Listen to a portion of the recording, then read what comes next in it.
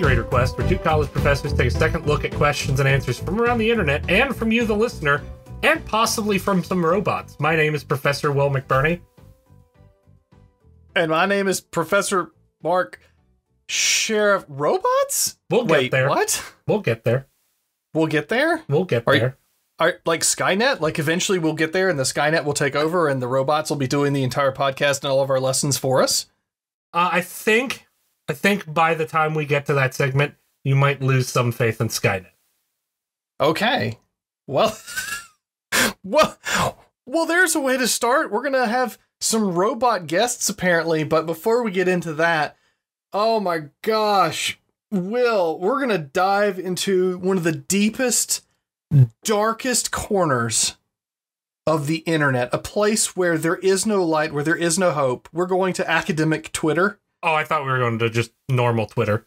just normal Twitter. Well, you know, there's a special special subsection of of normal Twitter that is where academics post things. And have you heard about this story? The story coming out of Michigan State. This just came out. I have Earlier this because you week. shared it with me. Yeah, and it's it's horrifying. It is it is something else. So for those of you that have not heard this story yet, in case you haven't noticed, there's been a pandemic going on, and as a part of this pandemic, a lot of people lost their jobs when a lot of the service industries started slowing down. Specifically, in this instance, I'm talking about the culinary services at Michigan State University and actually at many of the public universities in Michigan. So, a lot of people lost their jobs, which sucks, obviously. And so now students are back on grounds, and now Michigan State has a lot of students back. Mhm. And uh, they even made a rule there that not only their first years, but also their second years had to live on campus. Mhm. So they have to, you know, staff up a lot. And it turns out no one's coming back. And so they send out an email, and I'm going to read you some snippets of it. So wait, in wait, case wait. you haven't So, heard the so what you mean is that a bunch of people who had service industry jobs didn't wait around on their hands doing nothing for a year and a half and instead got jobs doing other things? Why I never. I how dare they? I mean, come on now. Yeah. So this email went out to some faculty.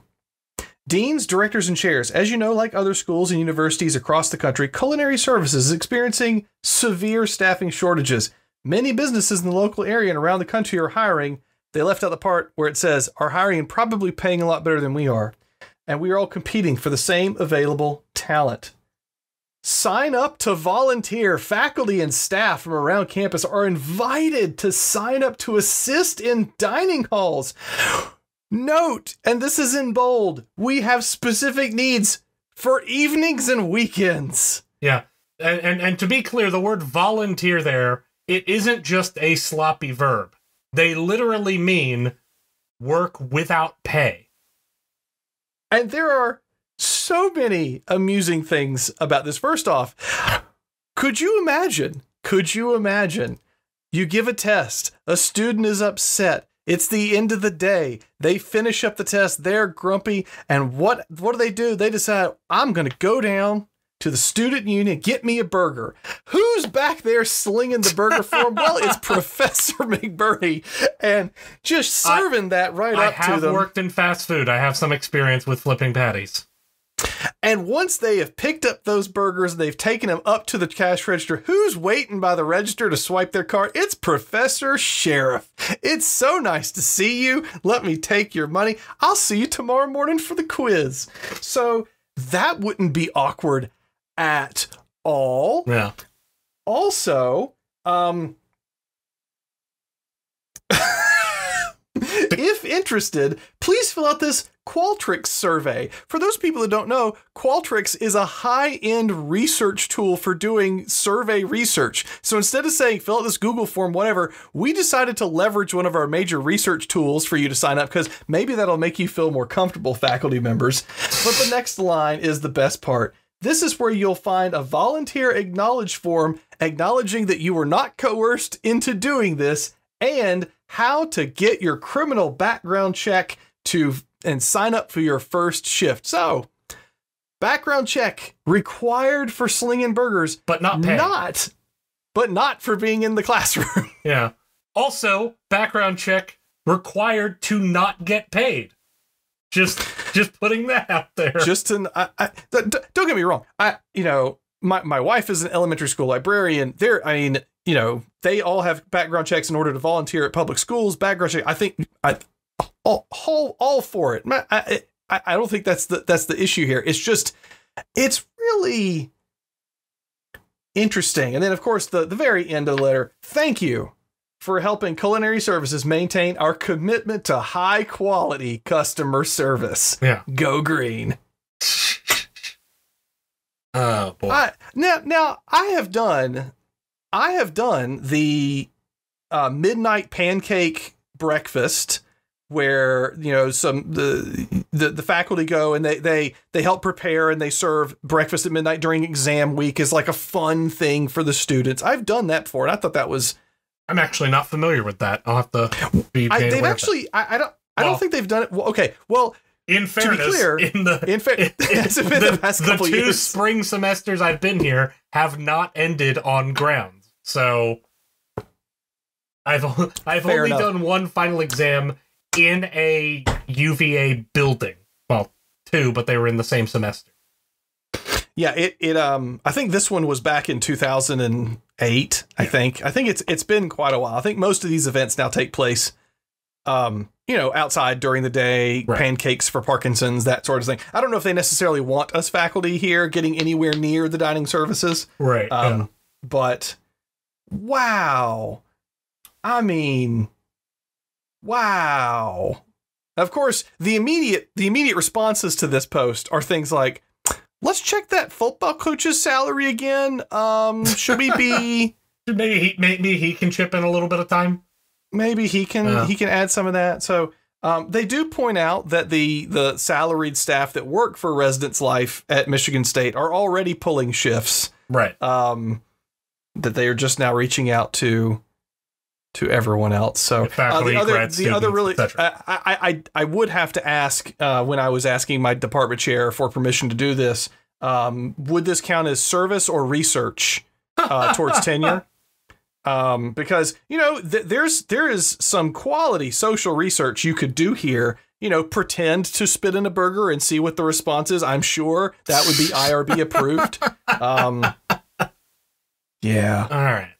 Well, All right. from one from one dystopian nightmare to another, robots taking over the internet. Did you know that there's an entire subreddit, an entire subreddit that is only bots posting, bots trained by reading other subreddits. See, now the joke here is I read our Hearthstone, and I would argue that many of those are bots of people just arguing about why Hearthstone's not a fun game. Mm-hmm. But uh, that joke only will land to, I think, one or maybe two people listening to this podcast. So, um, no, I did not. I, I, I, didn't know this. So, is this something that was done by academics and they, or that they, you know, decided to make bots to do this, or is it just? So it is. I, I don't know if it's done by. So it specifically it uses the GPT uh, two model from OpenAI. So it's a language generation model, and I will say this: it actually produces readable sentences. Not necessarily to say semantically meaningful sentences, but it it does produce sentences that have subject verbs and even can have complex things like prepositional phrase in that.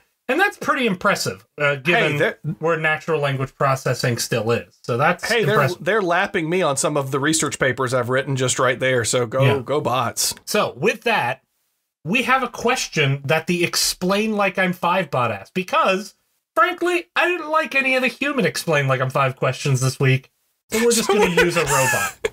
So even even questions on our 20 episode long podcast have been outsourced to robots is what you're Exactly, telling me. exactly. And this question, I think, raises We're a really so good point. desperate for listener questions. well, we have a couple coming up, but um, explain like I'm five. Okay. Why are there so many people who have a first name? Wait. Uh, the question follows. okay. I know that most people have a first name, but I don't know much about the reasoning behind it. Is it just to identify them by name, or are there some other reasons? So this okay. So there's a couple ways, of course, to interpret this. One of this is, you know, I am robot. Why do you need identifier bag of mostly water? You should be identified by your, you know, Do I have a like that. name? Oh yeah, it, it's robot. Do I have a soul? Like just immediately everyone gets uncomfortable. Uh, I have some responses here from some from from some fellow explain like I'm five bots. Um, I was once told that first names are the first name of the person and surnames are the last name of the person. So that's I think very helpful and insightful. That that is as helpful as most comments on Reddit. Um, it's one of the first things you learn in school. When you're born, your name is assigned to you. For example, if you have a name like Jane Smith, then you are Jane Smith, and you are a female with the first name Jane. In the future, you will want to identify yourself, comma, by using your first name. I don't know why. I, I just emphasized the comma there because it, it seemed odd. So, Now, see, oh, that- and I should also note this is a tradition that goes back to when people who were illiterate used to write their first names on their doors. This is not really related to why there are so many people with first names, though. That So- bot's making some assumptions. Yeah. Jane doesn't have to be a female name. Yeah. How do you know how this person identifies? Yeah. Jayne is a dude in a Firefly, so there Yeah. you go, right there. Um, yeah, so so robots, uh here's here's a short one. First names have historical value. First names were used to identify the person and are a personal identifier. Second names were used to identify a person and were less personal since they were often used for work and such. Names became more For personal in the last such. few hundred years, but names were a personal identifier before that. So there we go.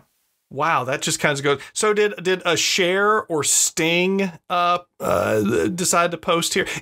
And you know, we have a colleague who pu- who publishes a lot in CS Education in Australia, whose name is Simon. That's that's it. That's it. It's Simon. And on his papers, like his official papers in the ACM Digital Library, it says Simon from Australia because apparently he is the representative Simon. Yeah. there is, So is, ac- it, is, that, yeah, is that his first name or is that just a name? somewhat related. If you there is if you only have one name, is it your first name? Um, I mean, yes. I mean, like, Hmm. if if I only have one student in the class, they both have the highest and lowest grade in the class. So, yeah, wouldn't that be nice? Fair. Class with one student. Anyway, No. uh, I should note there is actually a Paul W. McBurney that is not me that has published papers. I think in like Oh. signal stuff out in the Pacific Southwest, and one of my papers got assigned to them at one point, and that was awkward because they like I've never communicated with this individual. Just they literally publish their papers, Paul W. McBurney, and that's what I do because I go by my middle name Will, so the W is just to signify, hey, I Yeah. go by my middle name. But yeah. Anyway, so that is that is the robot question. If I see funny ones, I will bring them up. Um, by the way, there are numbers of posts on this uh, on this subreddit that ask, "Are we in a simulation?" And and those ones can get fun. I'm sure they can. I'm not letting go of this name window. I'm just still just kind of ruminating on this on my head. It's like it. Why? Why? Why is it a first name? And of course, in you know, in in, in Japanese culture, you would you know, even your friends, you just refer to them by their last name. Right, be, well, Um, because their last name is their personal name and their first name is their family name. That's Oh well, no. Okay. Well, what I meant was you you are correct in what I was saying there. But I, but you know, if you're referring to someone who is um. I'm only thinking of anime characters now. Izuku Midoriya, you refer to them as Midoriya, with Midoriya being the family name, and you'd only call them Izuku if you or Izuku-kun if you were very familiar with the person. Right. Right. Ah. Well, that was cool. all right. Um. We have we have a, do we have a question from a from a uh, organism? We'll say. an organism. That's no way to talk about my father. So.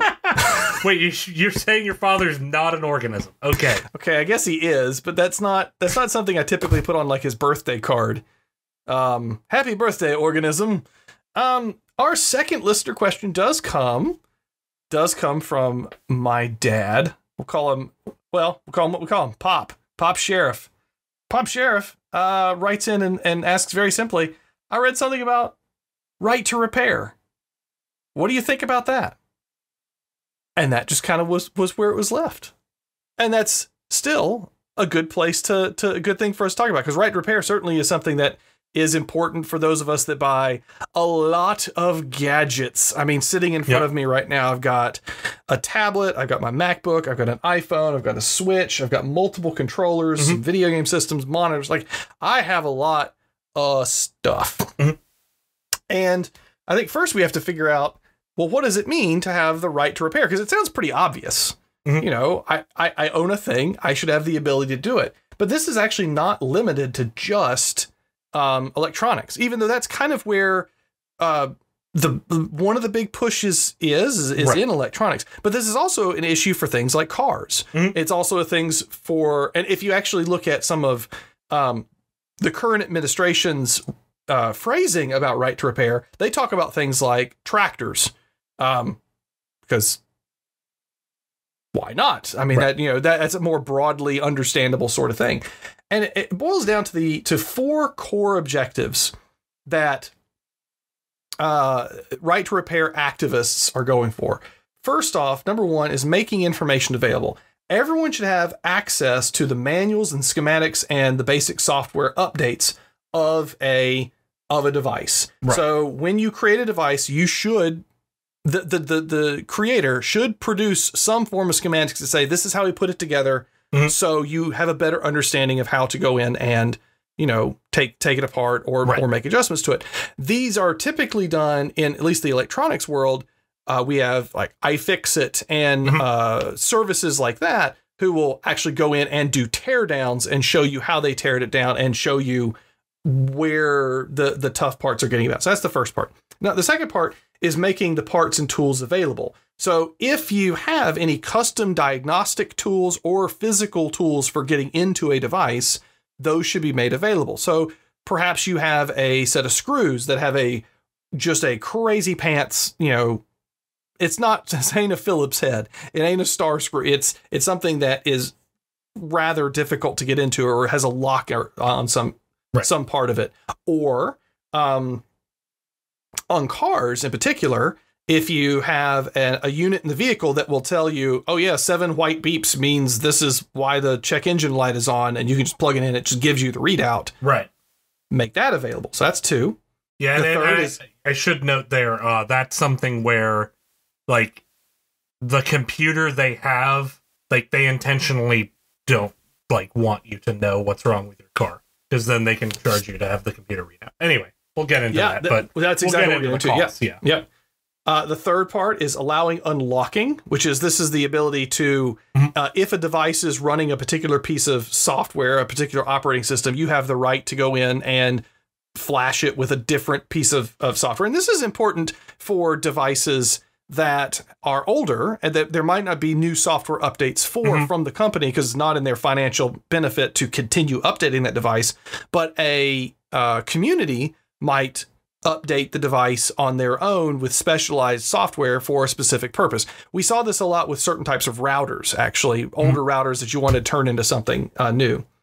And the final part, part number four, is when companies are creating things that they are building the items with specifically repairability in mind. Right. So you're not gluing things together with mm-hmm. super glue that you can never put back together or yada yada yada. So, you know, on, on one side of the argument is the right to repair advocates that basically say these four things, these are things that we should be either legislating or striving toward so that when people spend good money on a complex device, they don't have to pay a premium, a monopoly esque premium Mhm. to go to the the manufacturer to have something repaired. That there can be either do it yourself repair or third party companies that can compete with them Mhm. to then either use OEM parts uh, or um, or even you know aftermarket parts. Right.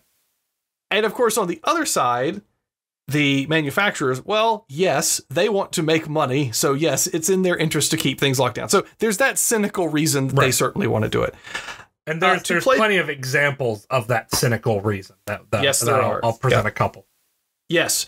And uh, yeah, and I'll, I'll say one more thing and then I want to toss it to you. But the, let's say the more devil's advocate reasonable arguments from the manufacturer side, um, there are IP concerns, intellectual property concerns, Yep. because depending on if they've used any sort of very proprietary methodology for manufacturing the device or the software used for it, if it was Uh, you know, this could be a way that company secrets could be you know leaked in some way. Um, that's actually probably the only one that I find the, the compelling in any way because I That's, think that, that, that yeah, is that's at least not that- cynical.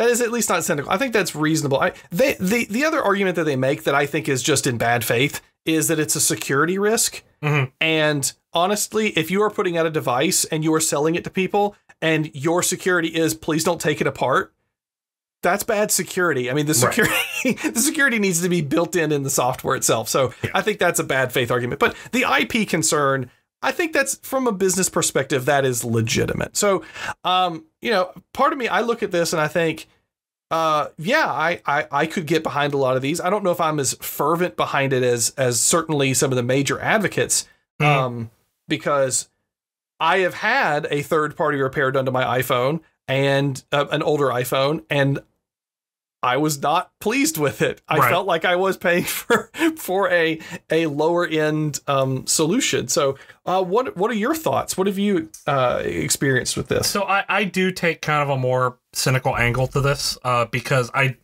I generally tend to be more of uh, you know, like yeah, there's the right of first sale, but then at that point, like it, it's out of your like you've already made money selling the product. So the the the the worst example of this by far is programming a key fob for a car.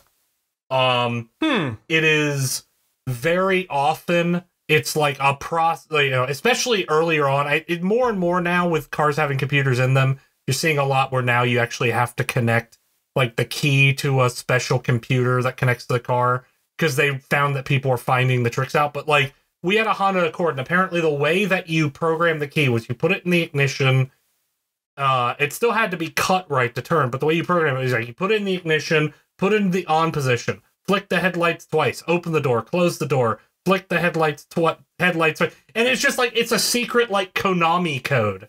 To just program, you know, up, up, down, down, left, right, left, right, B, to program it. And if you go to the And you got dealership 30 to do it, they'll charge you like thirty dollars for it, like or like not not they'll charge you literally like three hundred dollars for it. There's like, oh, the key. Oh, well, this is a hundred dollar key. It's like a two dollar key.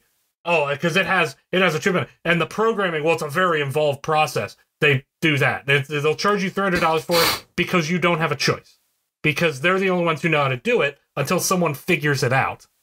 Um, and then once someone figures it out, then they'll put a YouTube video up, and you know, the next year they change the way to do it. So that's that's absolutely just a way for dealerships to make money. There's a ton of problems with car dealerships in general. We could do a question on that later. Just my issue with them.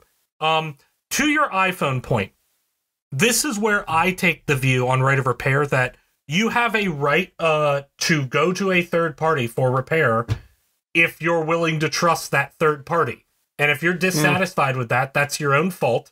But oh thanks but no, no, no. But what I mean by that is, let's compare that to what Apple does now.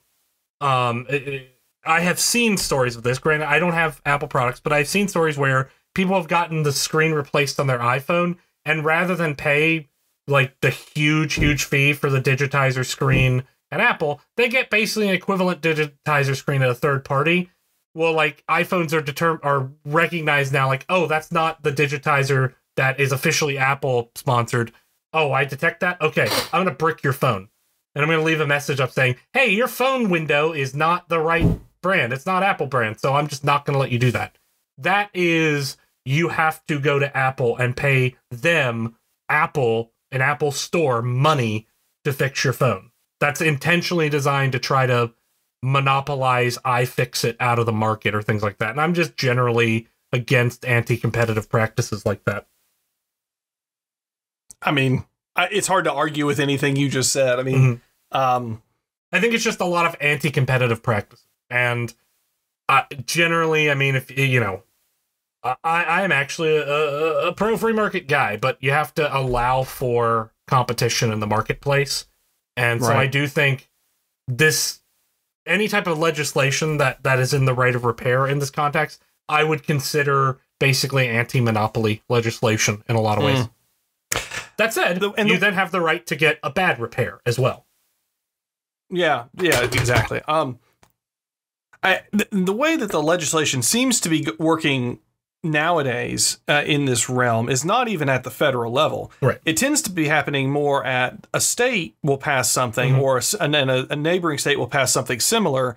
And basically, what happens is, is the manufacturer says, "Well, I can't build one thing just for Massachusetts, so let's." You know, okay, it'll just become the de facto way that we do it. And so this is the Massachusetts did pass a car repair law, a right to repair law that did have effects nationwide for the publication of some of the diagnostic tools and things like that. So it's possible we might see something like that in some state legislatures. Um, Yeah. maybe.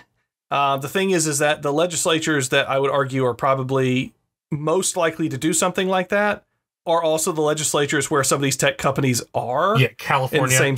and, and, and Washington. exactly yeah, California and Washington. Those those those immediate combine. Yeah, I mean, I'm not I'm not expecting, you know, the Florida state legislature to come do Yeah. something like this. Yeah. Um, even though it is a um, an anti-monopoly sort of thing. So anyway, and and, Um, and this is how you end up with a seven hundred dollar juicer, where the juice packet, the premium juice packets, you have to buy strictly from them with a QR code to make sure you're only using their juice packets. Can be easily just you take the packet and you just squeeze it by hand, and it's completely fine. It's juice. didn't we talk about Keurigs with QR codes? I, I feel like think we, we did. at one point. I can't remember the name Well, of the juicer. It, it thankfully didn't catch on because it's just kind of.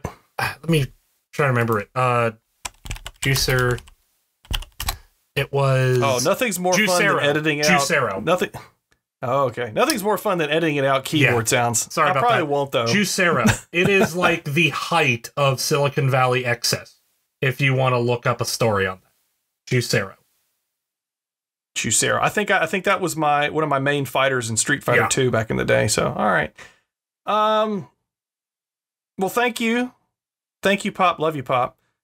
Love you, Mom. So, you know, our, our, our faithful listeners. All right. You got another question for us, Will? I well, not really. Quite, uh, here, I'll frame it this way. Did you know that uh, a professor at Cornell proved that humans have ESP? Whoa. Really? Yeah. So, That- uh, so I, I by ESP you do mean extrasensory Yes. perception, right? yes. Whoa. So What the what the uh what the I will explain the experiment design. And the experiment design was that basically people were put uh, into a room looking at a you know two areas, a left side and a right side, both covered with curtains, and then a picture would be displayed randomly on one of the two monitors, and the person had to guess which screen had the picture. And they did, uh, and they they didn't find ESP with two of the types. So they did like just normal pictures. I think it was like landscapes or portraits. I can't remember which. Then they did like scary pictures, like spiders and stuff. And, and neither of those, like the person reasonably predict. But when they used erotic images, people predicted uh, the the picture fifty three percent of the time. So Wait, so they had to guess what was the picture? they had to no, they had to guess which side the picture was on.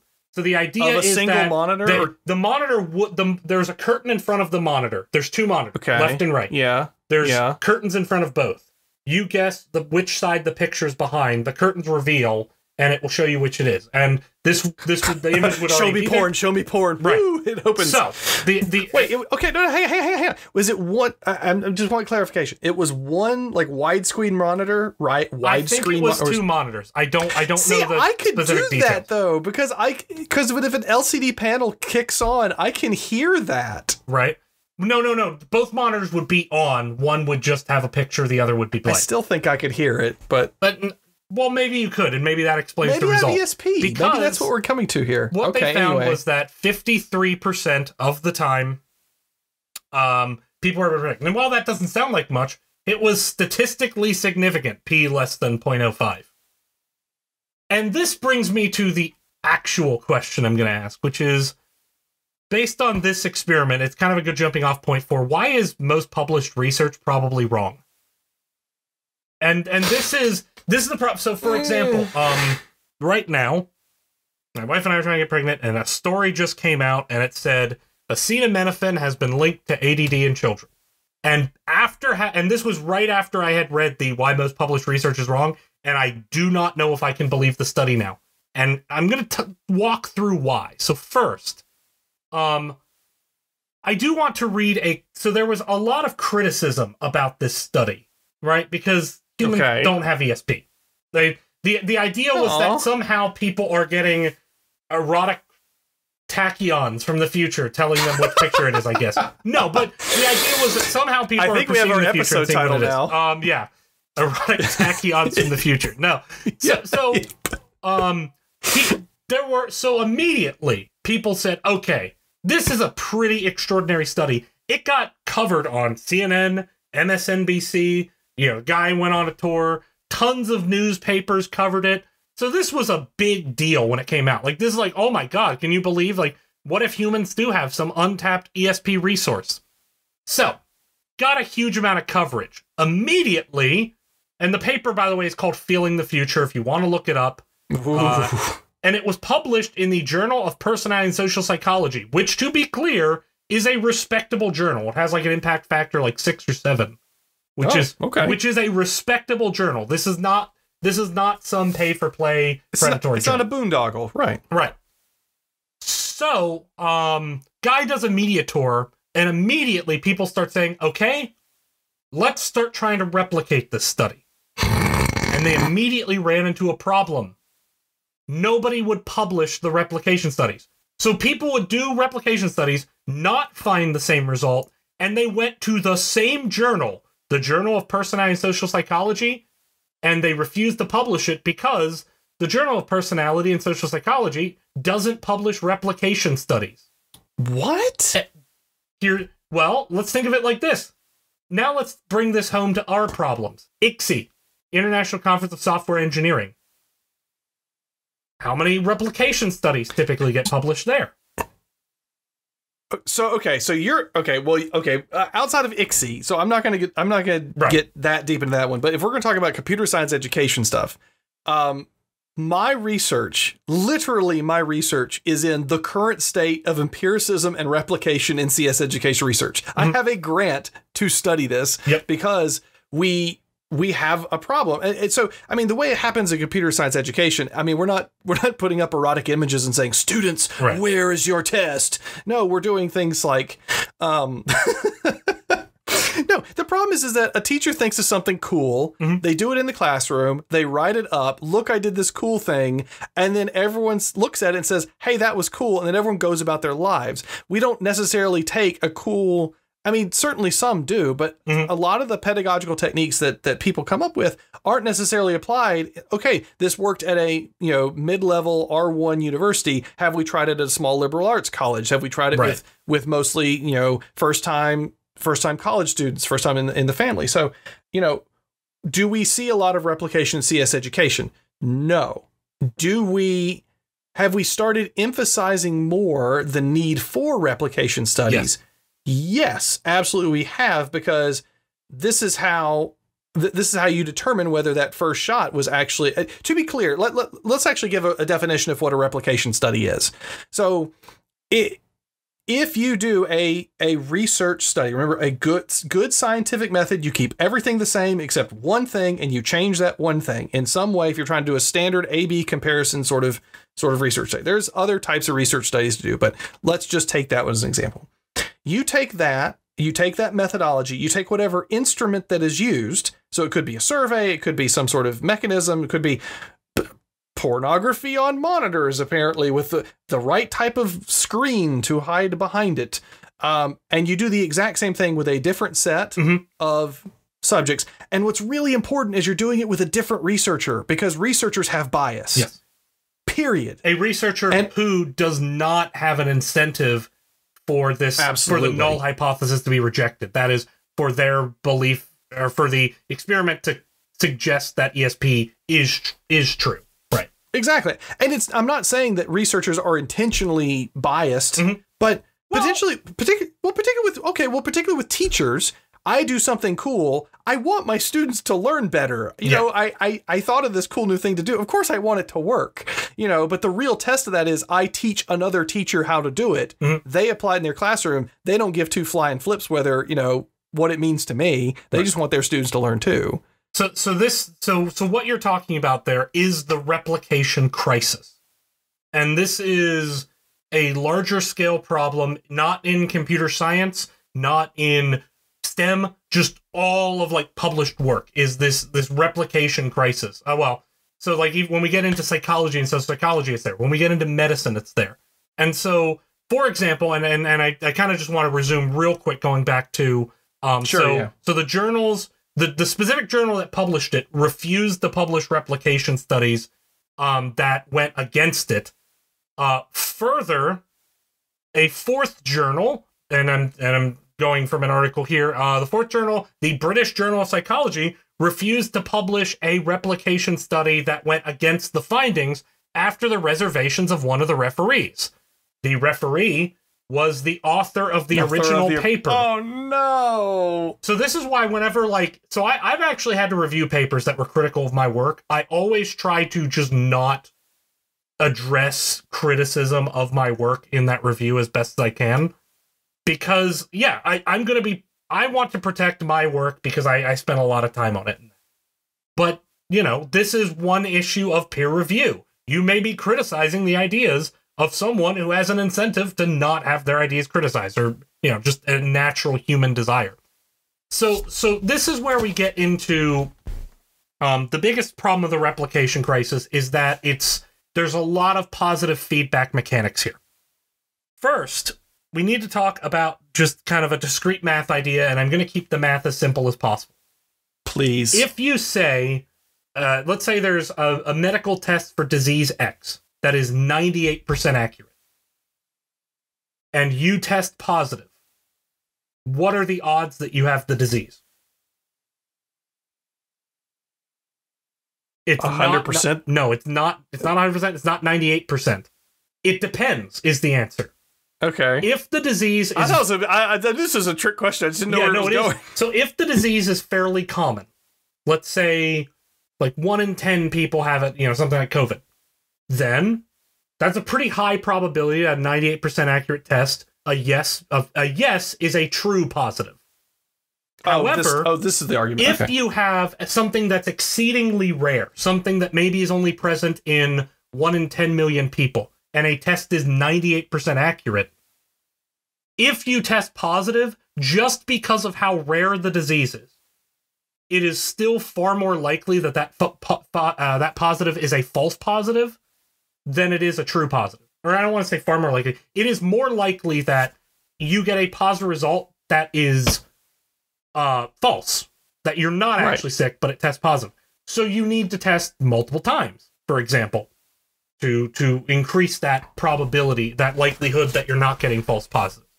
right. So this is why we do replication studies. But understand that an experiment is more likely to give a false positive if the underlying um, condition is more rare or is more unlikely. That is, the underlying Mhm, hypothesis is less likely to be true. You're more likely to get a false positive result. And this is not a small problem. For context, um, in 53 preclinical cancer studies that were uh, that were examined uh, at the University of Texas, 11% could be replicated. Uh, in a study, uh, 49 medical studies with more than 1,000 citations between 1990 and 2003, of the studies that were examined, 16% were contradicted, 16% had a stronger effect than the subsequent studies, 44% were regulated, 24 remained largely unchallenged. So, there's a lot of studies that even in the medical field where you think, "Oh, there's this high standard," where they're not they can't be replicated. Uh okay, but clearly in something really hardcore like physics this could never go wrong, right? There's the pentaquark. There were multiple hmm. papers published th- about the discovery of the pentaquark. So, subatomic particles are made of 3 quarks, right? A pentaquark would be 5. So, hey, that's weird. Okay? But they found this pentaquark with a with a likelihood p point oh oh oh oh oh oh oh oh one. That That's a said, small p. It's still not true. it's it's still not it, it there there is no pentaquark. There was no evidence for pentaquark. Can't be replicated. Didn't happen. So this infects all of science, and at root is these positive feedback mechanics. One, Uh, in in pr- research professors are generally in a publisher perish setting. True. We need to get articles published. We need to get them published quickly, early in our careers, and they and so so so how do we get things published? Well, if you have a null result, if you look at papers that are published, very few of them are null results. Which is null results meaning that um, We did not find anything we did not find anything significant to report. So, like for example, oh, we tested if um, this drug helped fight COVID, and it did not. That's the null hypothesis. Uh, as opposed to if you found a positive uh, correlation that the drug helped, it would be uh, it would be rejecting the null hypothesis. So, so studies that do not reject the null hypothesis are less likely to get published because That they're they're boring. True. also studies that um are that are more eye-catching. You know like hey what if humans have esp and can see into the future? Well that study's you know going to get some headlines. That's going to draw a lot of interest and citations. So hey let's publish that. So so we encourage trying to find and then you can do things like p hacking not even intentionally p hacking just basically modify the experiment data set modify the parameters whatever until you find the magic p less than 0.05 aka published result you can do that unintentionally completely unintentionally in good faith Subconsciously, even. yeah, subconsciously and, and acting in what you truly believe is good faith, and you can still end up with a p hacked result. And what you end up with is a system that encourages publishing papers, whether right or wrong, because here's the thing. What if you publish a wrong paper, a paper that gives incorrect insight? Well, it just gets more citations. So hey, that helps your that helps your They review. can- That's a bit simple. They know, can but- be recalled. They, can, be recalled. They can be. but but it's fairly rare that they are. Even when a result is contradicted by replications, it's fairly rare. But it depends upon okay so i mean i, I- I think that one thing I, I- I don't want to shake the faith in science in general Right, no, no, because no, I- I- obviously but i mean I, th- I think it's important to also point out that um, science is messy Yes. and that you know when we are when we are engaging in the scientific method humans period are a threat to validity Yeah. just in general and so yes our some of our methodologies in working through some of these replications for things that I mean, let's be honest. The replication of the ESP with the the the the, the criticality of that research is is low. In general, it's relatively low, right? Well, But- but but th- here's where I have No, to no, disagree no, no, with hang, you. no, hang. I'll, I'll, all right, I'll come back to my disagreement with that. Okay, okay. I, it, it's a moot. It's it's it's a throwaway point.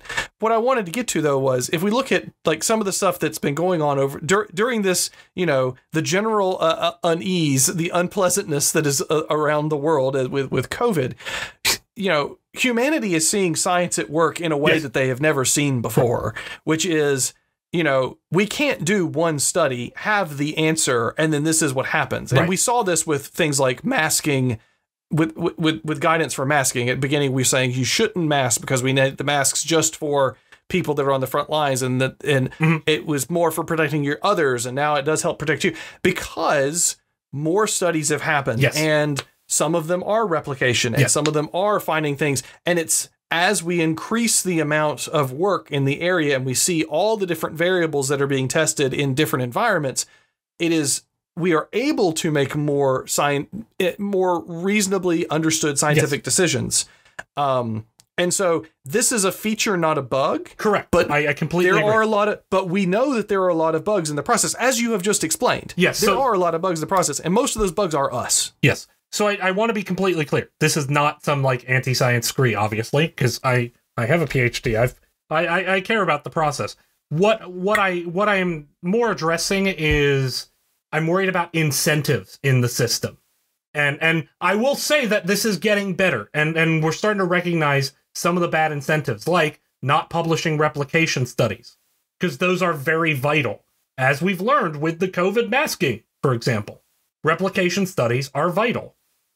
Data, this is where it gets controversial. Data doesn't speak for itself, it has to be interpreted. It has to be interpreted to get to Mhm. insights. Yeah. Because Yeah. what we're doing with the scientific process to generate insights is we're designing experiments that produce data that we then try to interpret into knowledge, which can be wrong. I mean, that's the scientific method does not guarantee that your interpretations of data will be correct. They ju- it just tends to get better the more you replicate the experiment. This is why we like large sample sizes, for example. So I am not saying instinctively distrust all published research. What I am saying is when you have these big headline grabbing articles like, Did you know that eating a chocolate bar a day can help you lose weight? Understand that there was actually an experiment that actually produced p less than 0.05 there. But that experiment, which is real, that did produce that result, was intentionally designed to produce a headline grabbing result. It was not not Mm. not nefariously, but more to point out bigger issues with computer science publication. Or not computer science publication. Uh, uh, like, uh, sorry. how do I nu- do that? Nutritional, science nutritional science publication Oh, dang it. where big surprising results. Oh, this thing that you don't think should happen should happen. That's going to get headlines and draw a lot of media attention. Like, oh, humans have ESP. And then the follow up that suggests that's not true, that corrects this misinformation, has to work dramatically harder and has to um has to find a voice and a place when media can be hostile to that. Media not just being television, but also even these journals that don't accept replication studies. And my point here is this gets to a deeper problem of misinformation. Um, Mm. because it doesn't it doesn't have to be intentional misinformation. And what I worry is that we've set up a system that encourages rapid fire surprising hypotheses. Going back to what I said earlier, the more rare the disease is, the more likely you have a false positive. The more unlikely the hypothesis you test, the more likely the false positive.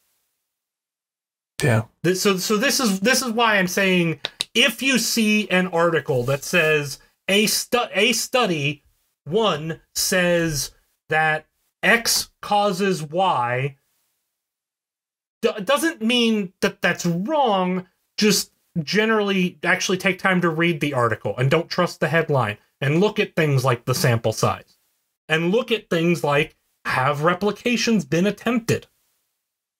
Yeah. So that that's to be clear, science is not a perfect tool. It's the best one we got. Um, it's gotten us pretty far. It's done amazing things, especially with the vaccine. Done amazing things and just look at you know, hundred years ago, about forty percent of the Western world worked in agriculture. Now it's like two. Yet there's less starvation. You know, that's technology and science.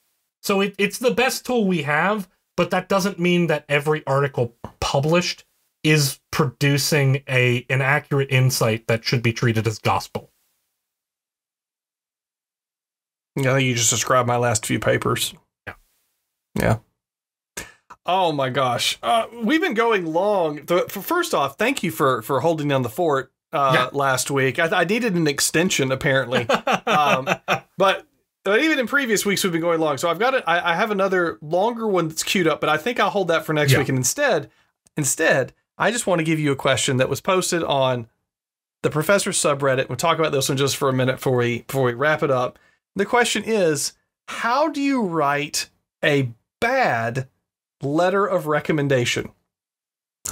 I have a previous student who, despite me telling him multiple times I would not be able to write him a strong letter, has submitted me as a reference for an intensive PhD program. More specifically, I told the student exactly why he should not put me down. He skipped multiple classes, refused to write the papers, failed numerous courses, refused to meet me for advising, stopped responding to advising emails, transferred to an online degree in order to eventually graduate. I've never had to write a poor letter of recommendation, but I'm required to submit something. What do I do? I mean, just just that is fine. just look, you already have your draft on Reddit. Like, let's check it for grammar, copy and paste. I mean, this is this is difficult. Um, not to get too deep in the weeds, but I'm sure you get this happening to you, Sherriff. I get it. a student comes into my office. They say, "Hey, you know, I'm applying for this program for study abroad or this internship or whatever." I'm like, "Oh, that's cool." And they'll say, "Great, so you'll write me a letter of recommendation, right?" I'm like, "Oh, what's your name?" you were in my class? To, to be clear, part of that is I have 120 people in uh in in a section or I have 150 people in a section this semester. It's a lot of names to learn. And uh especially when I didn't recognize the individual. Uh, so I have I, I've only had three types of letters I've had to effectively Mhm. write. There's there's the letter where it's this person was a TA, I Mhm. worked with them. I will write them, you know, glow it like Yeah. if this was a TA for me and they did a good job and they prevented me from having to grade a bunch of tests and they did an excellent job, I will go to any length to write Yes, them a beautiful exactly. letter. That absolutely.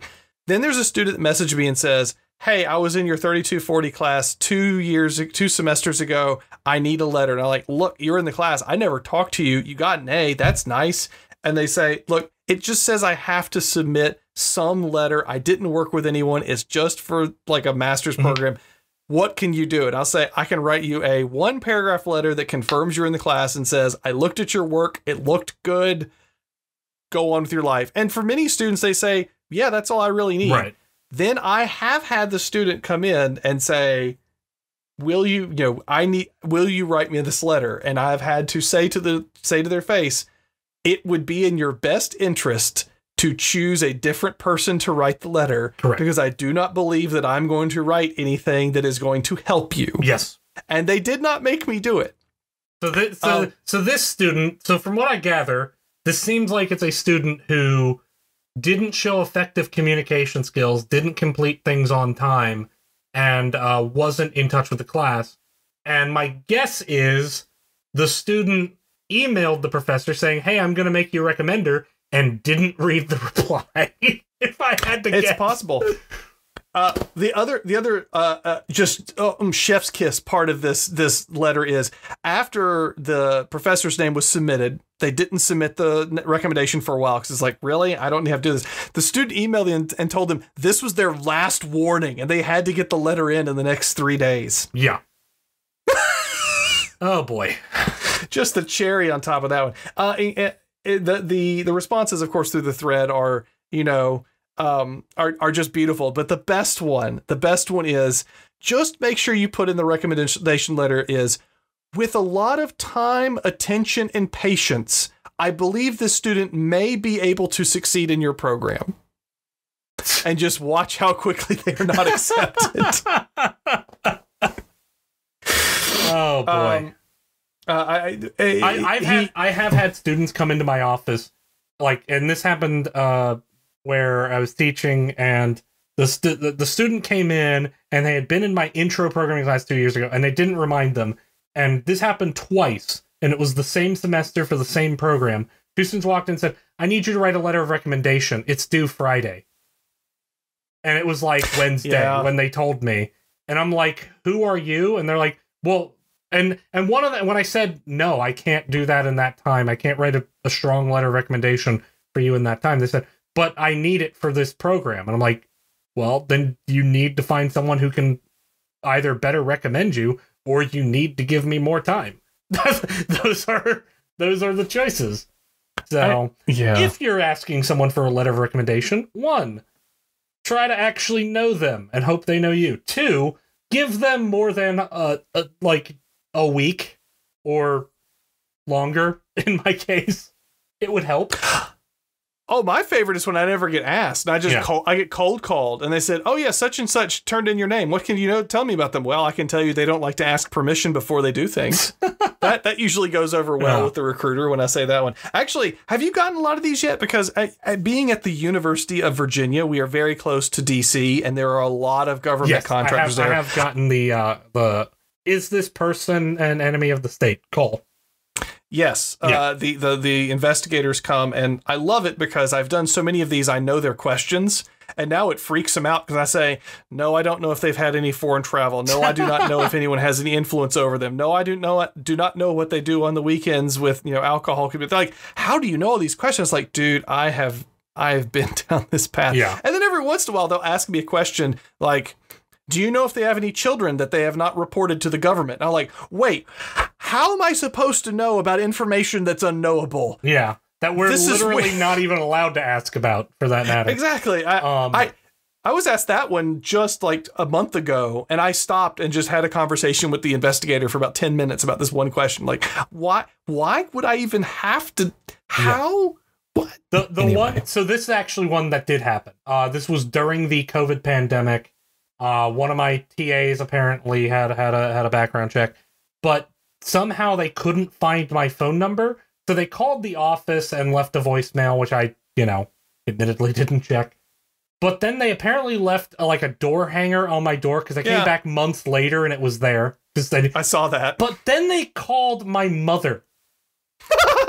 so, so I mean, like my mother, you can find her information because she's an employee of of of a state. I'm keeping it vague because I don't want, you know, something weird happening. But they somehow got a hold of my mother's phone number and called her. And I think it's because they had because I actually have ch- I have changed cell phone numbers in my life. I think it's because they somehow had a record of my old cell phone number, but not my new one. So they had to get. So my mom had to give the person my new phone number, and that was how they got in contact with me. They, so they were persistent about this. Wow. Yeah. Wow. Yeah. Just so they could ask you if that TA had, you know, what their If what that, their that TA was an enemy of the state, to which I had to say, probably not. No, oh, yeah. Well, they, you know, do you have any reason to believe that they have any ill will intentions to the United States of America? No. Do they have any friends who are foreign nationals? Like they're in computer science. We have lots of Yeah. people who are foreign nationals. anyway, Yeah. anyway, we are we are running long. Hang on, hang on. I think I have some ESP where Uh, you're going with this. oh God! Are you are you, are you going to say watch for falling goats here in a bit? Please do not tell me what you have on your monitor right now. That's that's all I want to know. I, no, it's all I don't want to know. I I I have I have a Discord and Audacity on my monitor and Reddit. Well, but the previous Yeah, I know, I know, I know, had- I know. Okay, all right. Thank you so much for spending this last hour with us. We know that your time is precious and you could spend your podcast time with so many other different, more uh, handsome and exciting and funny people, but you somehow decided to spend it with us. And that just warms our hearts greatly. If you have not had the opportunity to subscribe to the podcast, please head on over to Apple Podcasts, or you can find us at regraderequest.com where you'll find links to all the different services that you can find this beautiful MP3 file that will fly through the internet onto your device of choice. If you have a moment to leave a review at Apple Podcasts or anywhere else where you ha- can find the episode, that would really help it uh, because we haven't gotten a review yet. I mean, we've gotten two questions now. You know, th- these numbers are going up. Someday we'll get our first review. And we've gotten some five stars. Those of you that have gone into Apple Podcasts and left five stars, that's super nice of you. We do appreciate it. Feels good. Feels good. Feels even better than some of the uh, the uh, course evaluations that we've gotten. so there you go. If you have a question for us, you can go to regraderequest.com. You can record an audio message that we will play on the podcast, where we will then answer your question just as professionally as we have done over this past hour. Or you're welcome to email us, or you can email my parents and they'll get it to us too. Or you can apparently call Will's mom, and that will get us to us as well. So for oh, myself and for Professor Will McBurney, take care, stay safe, and watch for falling goats. I told you he was going to say it. We can publish this result now. Oh, P oh, wait, less than zero replication. zero zero zero zero one.